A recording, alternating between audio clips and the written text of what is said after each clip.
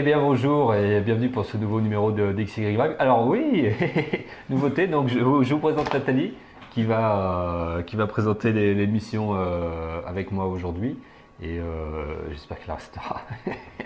C'est pas sûr parce que je suis pas payée. hein. Comme Valvert, bonjour Valvert, je ne suis pas payée. Mais bon, ça viendra peut-être un jour. Donc, alors au sommaire euh, de ce numéro, donc euh, on va parler de la Japan Touch qui s'est déroulée à Lyon euh, la semaine dernière. On va parler du test qu'a réalisé justement Valver euh, et je vous engage à regarder son article qui est bien sûr sur le site xymag.tv, donc sur le Moto G, puisque l'article sera beaucoup plus complet que, ce qu'on va que va faire aujourd'hui. Un, service et un site qui s'appelle Upper In et qui est très intéressant, donc j'en parlerai. Si j'en parle maintenant, c'est mort hein, pour le sommaire. Donc, les séries du moment. Voilà. Parce qu'on a fait une Continuum, très bien. Oui, mais c'est pas Oui, peine de, de- très bien. de Ah, dévoiler si, si, le si, contenu. très très bien. Donc, les séries du moment que- Ah, qu'on un a sélectionnées. Euh, et on a tous fait notre liste de Noël. Donc, euh, donc Nathalie, euh, Valver et moi. Donc, pour vous conseiller un petit peu des achats, puisque c'est un petit peu le- le- la saison. Si jamais vous saviez pas quoi, euh, pas quoi acheter, et ben nous, on a, on a trouvé. Donc, ne bougez pas. Et tout de suite, on commence avec la Japan Touch. Je suis pas sûre de rester. hein. Pourquoi? Bah, Continuum, Non, mais. j'ai dévoilé le secret. Bon, la Japan Touch. Je vais pas me laisser perturber euh, pendant tout le Donc, alors, euh, à Lyon, le week-end dernier, avait lieu la, la Japan Touch. Donc, il y avait beaucoup de publicité dans, dans les rues. Et j'ai dit euh, aux enfants, bah, plutôt que de passer le week-end sur la Xbox, parce qu'ils passaient le week-end sur la Xbox, ici, il y a deux Xbox. Donc, euh, ils en ont une chacun et ils, ils font que ça. Donc, j'ai dit, bah, on va sortir. On va sortir. Il joue Et- aussi à Minecraft quand même. Oui. Sur le PC. Oui. Oui. Donc on parlera peut-être de Minecraft un jour, puisque j'ai même mis. euh, non, j'ai pas mis. Donc peut-être que je mettrai des vidéos de. Parce qu'ils font des vidéos eux aussi qu'ils mettent sur YouTube, et peut-être je mettrai une vidéo de, de Minecraft euh, un jour ou l'autre. Donc euh, on est allé, euh, on est allé à Japan Touch. Et, euh, et donc, euh, eh ben, on- bon, je dirais, euh, on a passé un bon après-midi, puisqu'on est allé euh, que l'après-midi, mais je dirais globalement, euh, en, en termes d'adultes, moi j'étais un peu mitigé hein, euh, sur, sur le contenu. Et eux, en termes euh, d'enfants, de toute façon, ils ont fait la tête tout l'après-midi. Donc, euh, Parce qu'ils ne pouvaient pas jouer à Minecraft. C'est donc, euh, bon, globalement, il y avait quand même un, grand, un grand hangar de, de, de Lyon Eurexpo qui était, qui était utilisé. Il y, avait, il y avait du monde, ça, il y avait du monde. hein. Il, y avait des, il y avait des cosplays. Alors, moi, j'adore, donc c'était, c'était super intéressant. Le Un peu jeune les mis, cosplays peut-être. Oui, mais c'est Hein le un peu jeune c'est quand même. Oh, un peu jeune. Hein C'est surtout les jeunes qui se déguisent, quoi. ouais. Donc euh, mon fils, il avait mis son, son t-shirt de, de Joey Gillian de, de Cobra, qui est une de mes idées cadeaux aussi, parce que moi je pense que c'est un must-have. Donc tous les enfants devraient en avoir, en avoir. Si, vous aimez Cobra, si vous n'aimez pas, achetez la même chose bien sûr. Donc du coup, euh, il y avait du monde, c'était intéressant parce qu'il y avait quand même pas mal de, stands avec euh, justement des figurines, euh, etc. Moi, le seul truc que j'ai vu intéressant, c'est donc l'Oculus, hein, puisque vous savez, c'est une sorte de grosse. Alors c'est pas le c'est pas les lunettes de Google, hein, pour le coup, là c'est un gros gros gros boîtier que vous mettez devant les yeux, donc ça fait un écran en fait, un total, pour jouer en immersion. Et euh, c'est pas sorti, il était en test là-bas, donc on pouvait le voir, on pouvait le tester. J'ai pris le prospectus pour essayer de, de- d'en savoir plus, donc euh, bon, il est toujours pas sorti, donc j'en sais pas beaucoup plus, mais un petit peu. Donc euh, moi ça, ça m'a pas intéressé de voir ça. Après sinon, sur le reste, il y avait une exposition de bonsaï qui était top, hein, vraiment des beaux arbres. Donc euh, ça pareil, euh, moi j'ai trouvé que c'était euh, que c'était intéressant. Les câlins gratuits aussi. Oui, oui, Ça oui. t'a alors, beaucoup plu il y avait des câlins gratuits. Mais un peu jeune pour Voilà, toi. voilà, Ton voilà, fils n'a pas voulu, mais bon. Euh, mais c'était C'est- que des gamines, donc euh, on les repère facilement. C'est les, les bagues sur les dents, donc on voit tout de suite qu'on a affaire à des teenagers. Donc pour moi, Japan Touch, il, y aura y aura un autre euh, au printemps là. En tout cas, on va dire le Japan Touch d'hiver. C'est euh, mitigé. C'est, euh, je pense que Japan Expo est bien sûr beaucoup mieux. Moi, je trouve c'est bien qu'ils fassent ça à Lyon, comme je suis de Lyon, et je vais pas me plaindre, mais c'est vrai qu'il faut pas s'attendre à quelque chose de, de faramineux. On va parler maintenant du test du Motorola Moto G. Alors, alors, alors tout le monde est oui, il teste que du Motorola, il fait toujours du Motorola, parce que en fait, euh, ça fait deux ans que je teste que des téléphones Motorola. Normal, puisque comme je teste ce que j'achète, du coup, euh, comme j'achète Motorola, euh, j'ai testé un peu tous les derniers modèles. Et là, Je voudrais juste te dire qu'il m'a quand même fait passer de l'iPhone au Motorola. Mais je regrette pas. hein. Ça, je vous Bah le oui, dis, je mais- regrette pas du tout. Bah voilà. Du Donc, coup, je suis anti-iPhone maintenant. Bah tant mieux. Bah Donc, oui. Voilà, un de Bah plus. oui. Un converti, je mets plus. Donc, euh, du coup, euh, là, c'est pas moi. Euh, J'y suis pour rien. C'est mon ami Valverde qui rédige aussi maintenant des articles sur le site. Il en est son deuxième article qui, l'a testé. Et ma foi, il a fait un bel article. Donc, qui, a, beaucoup de vues, vraiment. il a battu le record des, vues du, site, donc bravo encore une fois. Et là, pour le coup, Motorola, ils ont sorti un téléphone vraiment euh, entrée de gamme, c'est-à-dire que c'est un, modèle à moins de 200 euros, donc à 160 euros exactement, qui, euh, qui a toutes les caractéristiques finalement d'un grand. Alors par rapport au Razor HD, bien sûr, euh, pas c'est pas exactement la même chose, mais on a vraiment euh, un téléphone avec un bel écran, un téléphone qui quand même euh, tient bien dans la main, hein, donc euh, qui, euh, qui, qui- est un petit peu pas trop léger, pas trop, pas trop gadget, hein, justement pour un téléphone de ce budget-là, et qui a une bonne autonomie, donc là une autonomie même importante, qui permet de, durer plusieurs jours, ce qui n'est pas courant aujourd'hui dans, dans des téléphones smartphones où on est obligé de le recharger toute la journée si on veut, si on veut finir la journée. Donc là Valver il a vraiment testé que ça durait. Euh, Bon, après, il n'est pas 4G, mais aujourd'hui, euh, qui a la 4G pour le moment hein, Donc, c'est encore un petit peu balbutiant, donc je dirais c'est c'est pas trop grave. Chose qui est un petit peu embêtante euh, qu'il a vu pour euh, un Motorola. Motorola, donc ils ont le principe des LED. Donc euh, les téléphones clignotent quand, quand il y a des quand il y a des notifications. Et euh, là, la LED, elle est monocouleur. Et c'est vrai que moi, sur les Razor, elle est euh, de toutes les couleurs qu'on veut. En fait, en fonction du sujet, on peut lui demander de clignoter blanc, rouge, Ouais, mais ça évite que ta femme sache si c'est un SMS ou Ouais. un article ou. Finalement, Bah oui. il est malin. ce- Bah oui, c'est pas plus mal. Il, il, il a Eh bien oui. choisi. Donc du coup, euh, ça c'est vrai que pour le coup Motorola, donc euh, c'était un petit peu habitué à avoir des, des LED un petit peu multicolores. Après, au niveau du déballage, ce qui est décevant, euh, c'est la prise électrique, donc euh, qui est une prise américaine avec un adaptateur. Et visiblement, alors vous voyez la photo sur le site, hein, le gars qui a fait l'adaptateur, il est débutant plus, quoi. C'est-à-dire qu'il a, il y a aucun design, c'est-à-dire que c'est merdique, quoi. Ça fait moche, ça fait pas fini pour euh, pour un Ouais, produit. mais un euh, adaptateur.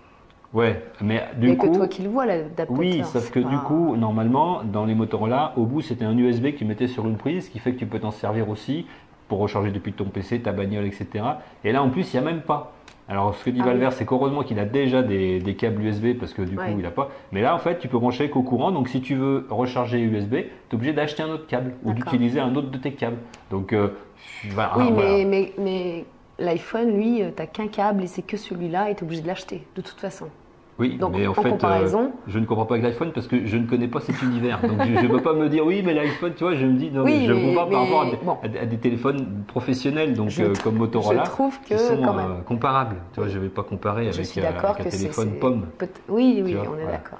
Donc, donc, donc voilà un petit peu pour le, pour le Moto G. Test très complet sur le site. Je vous renvoie sur le site. Hein, euh, parce que vraiment, là, vous aurez tous les détails. Il a pris des photos, il a testé l'appareil. Vraiment, Il y a un bon appareil quand même hein, dans, dans ce téléphone.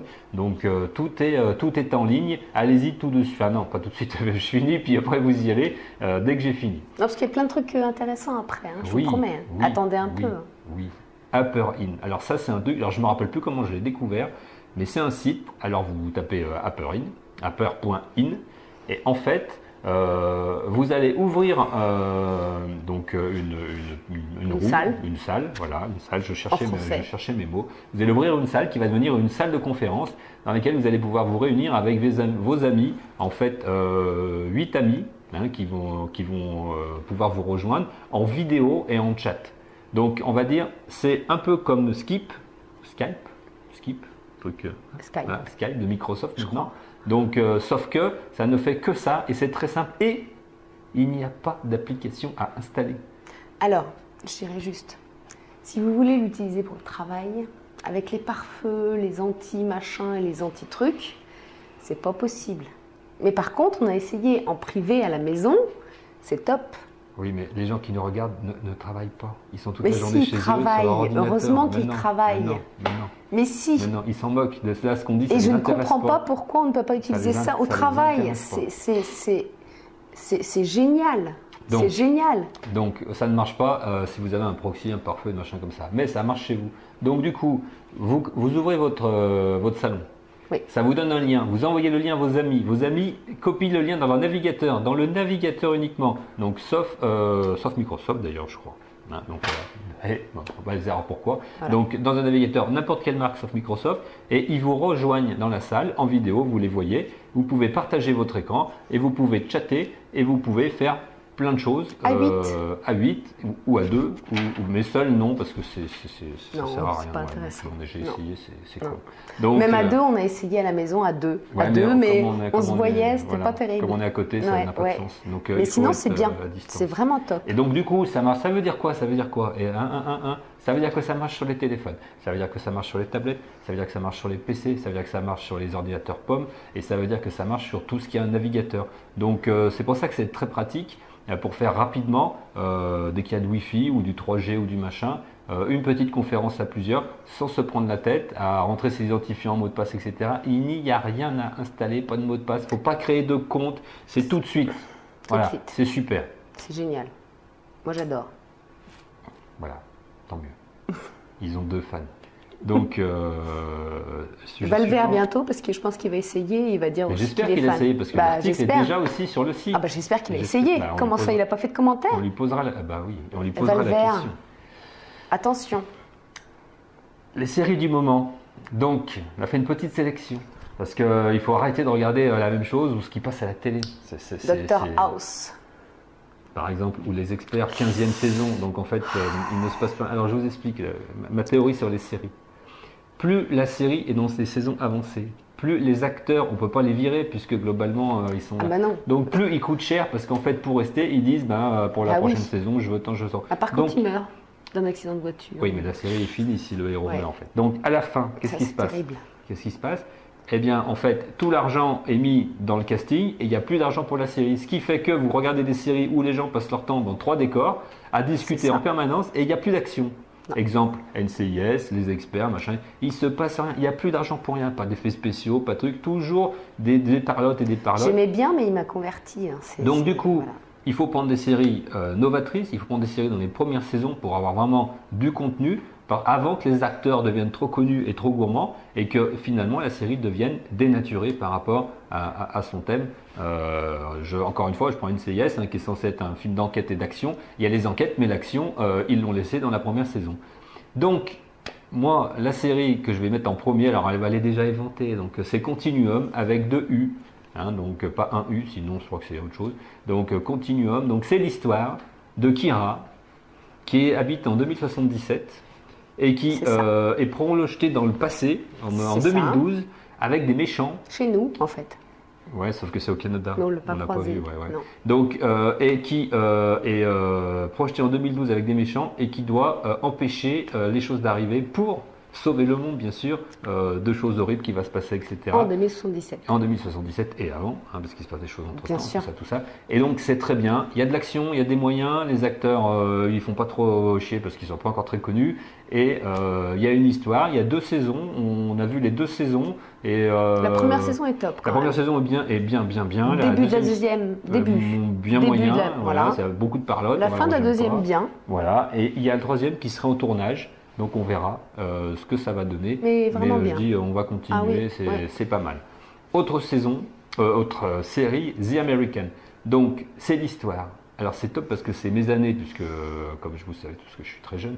Donc les années 80, Ronald Reagan est président aux États-Unis. C'est la guerre froide qui va bientôt ça, finir. 80 Ouais, la guerre froide va bientôt finir parce que bah, les- les- les- moi. la Russie va, l'URSS pardon va s'écrouler. Et eh bien à Washington, aux États-Unis, il y a des espions sous couverture, donc euh, qui Ils ont sont euh, déguisés en américains au sens où ils ont une vraie vie d'américains. Et attention, blagounette de- d'enfer. Ils n'ont pas froid couverture. Ben oui. Non, mais ce que je dis pour ceux qui Attention, j'essaye. saisi, Je suis la parce que- première. C'est la première Ah, fois, alors j'essaye de faire rire les gens pour qu'ils Et, reviennent. euh, je, je- je m'arrête, Eh oui. hein, on la refait pas, mais euh, voilà, rigoler. ça J'essaye. C'est la première fois. Je, je- voilà.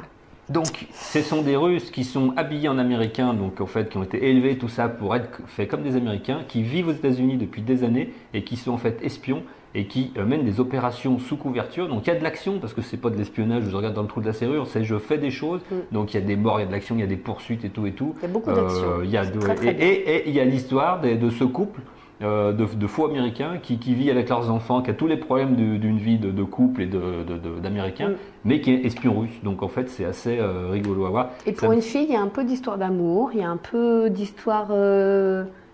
Voilà, ils- en fait, ils se rendent Bon. compte qu'ils s'aiment, ils ont eu des enfants, et en fait, ils s'aiment. et... Ils ont fait des si. enfants. ouais. Ben oui, pour Voilà. une fille, c'est important. Bon. Bah, je suis la fille là aujourd'hui. Oui, oui, bah, donc, euh, quand même. Et euh, donc très, je voulais très dire bien. autre chose. Euh, ça me fait penser un peu au Soprano, qui est une série que j'aimais beaucoup, euh, où justement euh, bah, le, le héros, euh, il est mafieux et en même temps il rentre chez lui et sa femme le gonfle. Et ben là c'est un peu un peu ça, sauf que c'est pas les mêmes rapports. Non, c'est Ah, là-bas. Donc voilà. Alors The Blacklist, donc troisième série dont on va parler. Ah, The, ça, j'adore. The Blacklist. J'adore. Alors, c'est l'histoire d'un des criminels les plus recherchés qui vient se rendre lui-même, ça c'est le premier épisode, qui vient se rendre lui-même au FBI, donc, euh, et qui, euh, le jour, enfin non, le jour où il y a une nana qui, qui prend son service pour la première fois également, et qui n'accepte de parler qu'à elle, qu'il ne connaît ni des lèvres ni des dents. Ni des lèvres, ni, des lèvres, ni J'ai des dents. Donc, et donc, euh, ils arrivent là, et on découvre pourquoi, comment cet homme s'est rendu à ce moment-là pour parler avec cette femme, qu'est-ce qui se passe entre eux.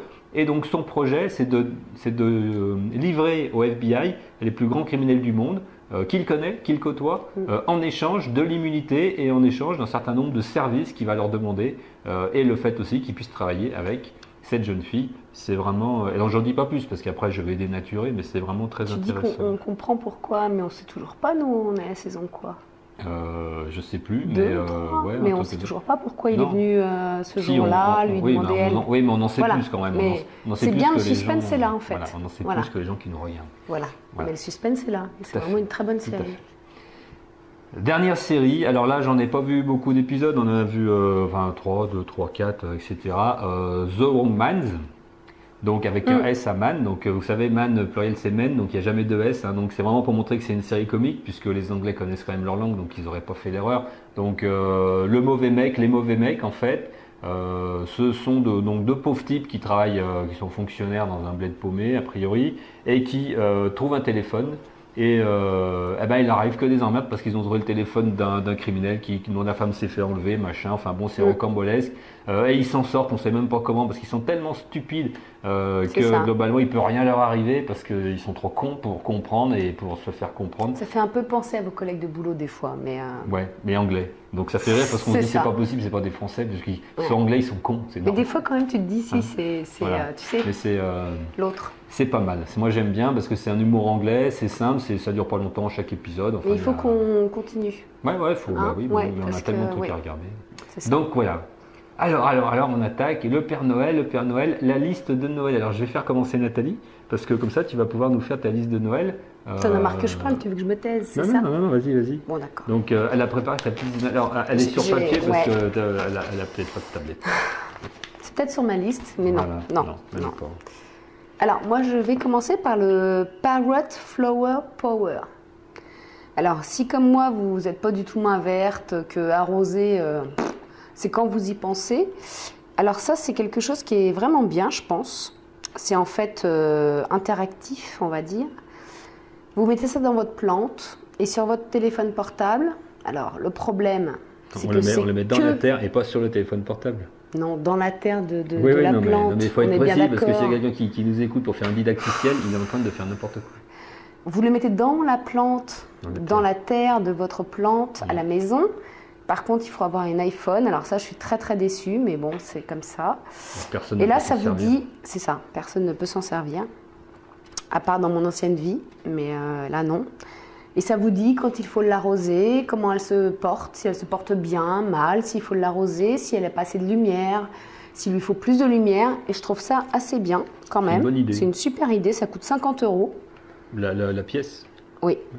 Ouais. ça. Donc euh, je trouve ça, très très bien. plante en plus, donc c'est- Et en plus, c'est très. ouais, ouais, c'est, euh, vous verrez les images sur le site, sur l'article de XY Mag. Plus ça va, plus, euh, plus- tu es là. Donc en fait, en fait, parce que le cadrage, tu vois. parce que Pardon. Voilà, c'est mieux. Comme ça, c'est mieux Ouais, Tu te que- moins parce que, Ok. ouais. Enfin, on, Je on se débrouille, hein, on se débrouille. Donc, the- le Parrot Flower Power, vous retrouverez ça sur XY Mag en article. Alors ensuite, j'ai trouvé la lampe d'ambiance lit. Alors, euh, une super lampe d'ambiance. Alors, pas comme celle qu'on voit d'habitude. Non, lit. non. En plus, je te signale que les blague. concepteurs, c'est des gens qui viennent de Lyon. Bah, ils ont bien Et c'est pour ça que je le, je le dis, parce que c'est des Lyonnais. Ça a été conçu à Lyon. Bravo. bravo Donc euh, je félicite. Bon, toujours un problème, c'est que c'est toujours ce- avec iOS, donc iPhone. J'espère que bientôt ils vont, euh, ils vont euh, sortir ça sur autre qu'iPhone, Ouais, parce que franchement, euh, voilà, ils auraient plus de ventes. 200 euros quand même, hein, ça fait un beau cadeau. Mais bon, c'est Noël. Ouais, faites, faites plaisir à quelqu'un que vous aimez Alors pas. un truc que j'ai trouvé vachement bien, c'est la lampe Tetris. Je sais pas si vous connaissez, bah, bien sûr que vous connaissez Tetris, le jeu. Donc là c'est une lampe, vous avez différents niveaux et vous mettez les niveaux que vous voulez, suivant l'ambiance que vous voulez. Je trouve ça vachement, vachement sympa. C'est 35 euros environ pour 7 blocs. Ce qui est quand même euh, On vachement t'achète les bien. blocs au fur et à mesure en fait. Oui, tout à fait. Bonne Donc idée. euh, ouais, Bonne je idée. trouve ça très bien. J'en prends deux. Ensuite, on a le chargeur solaire. Alors ça, j'ai vu ça, j'ai j'ai trouvé ça génial. Chargeur solaire Windows. Donc, euh, je pense qu'un jour, j'essaierai, je vous dirai. Euh, bah, c'est simple, hein, vous chargez votre téléphone sur une- un, un petit carré. euh, vous verrez ça aussi sur X- XY Mag sur l'article. vous mettez ça en USB, vous le branchez à un petit carré que vous pouvez avec des ventouses que vous collez à la fenêtre et ça vous recharge votre téléphone.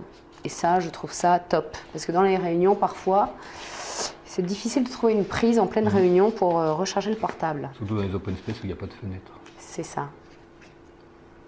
Un truc vachement bien aussi, mais alors je suis déçue, mais alors. Il faut vraiment que quel- quelqu'un fasse quelque chose.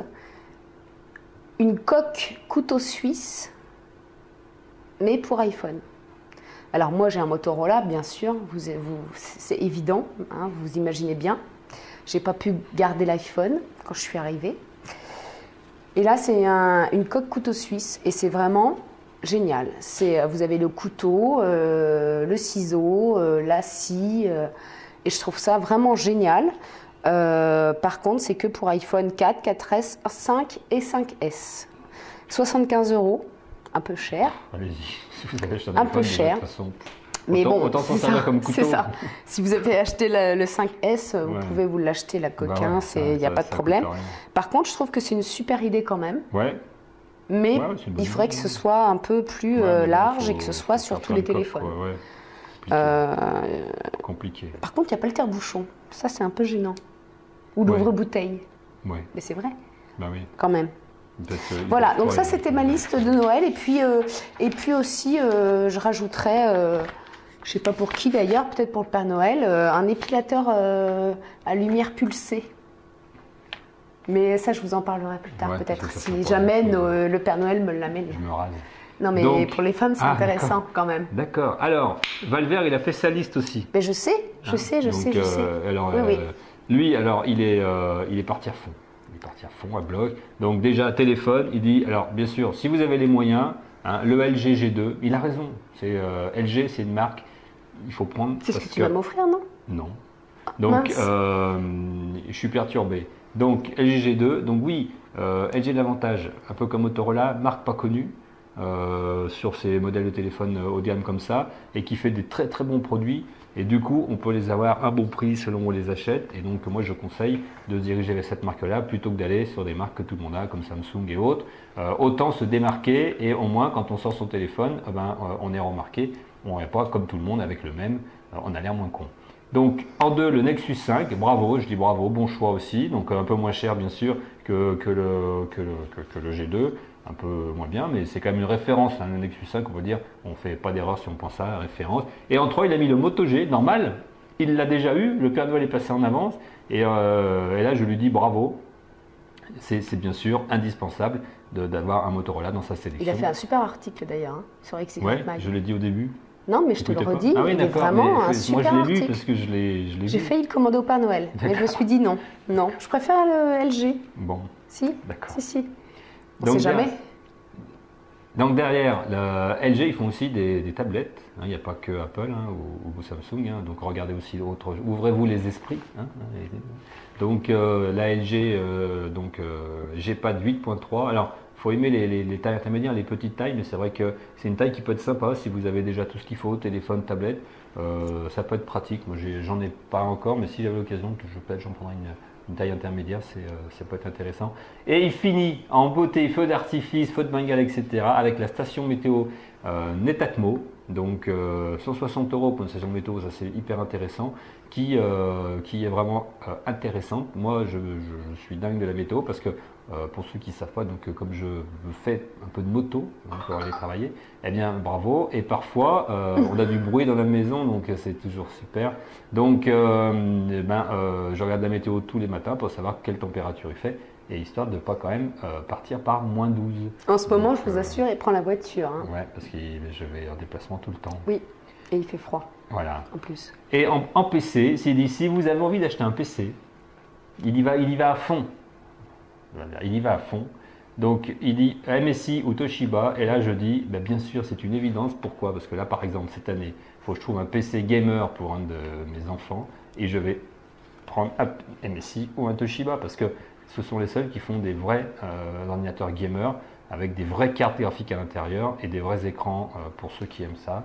Donc euh, ce sont des, PC pareils. Toshiba dans le milieu professionnel est très connu, MSI n'est pas très connu, mais ils ont des super configurations. Donc regardez aussi ces marques-là plutôt que d'acheter toujours aussi HP ou machin, euh, ou Dell ou truc, ou euh, ce sont aussi des, des bons fabricants. Ma liste à moi. Alors moi je suis parti un peu tous azimuts parce que comme il m'avait tout Faut piqué, j'écoute parce que c'est bientôt Noël. hein. comme il m'avait tout piqué, euh, je me suis dit, faut que je, faut que je, faut que je, faut que je.